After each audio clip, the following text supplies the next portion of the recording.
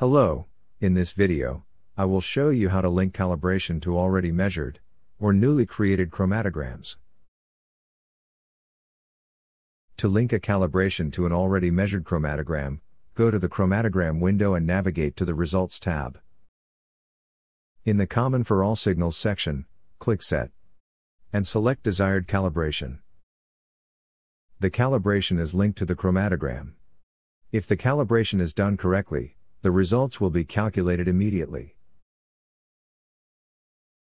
To link a calibration to the newly measured chromatograms, just link it directly to the method you will use for measurement.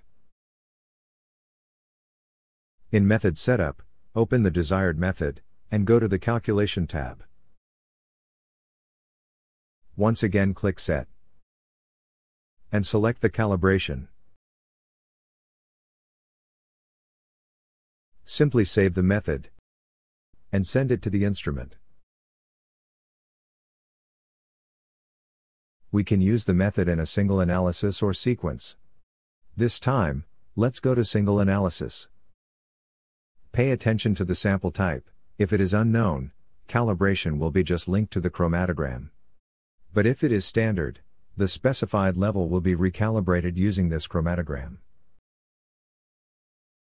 Then, Start the measurement.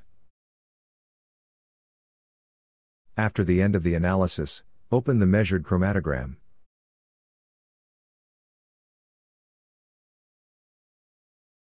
Every chromatogram measured with this method will have this calibration automatically linked.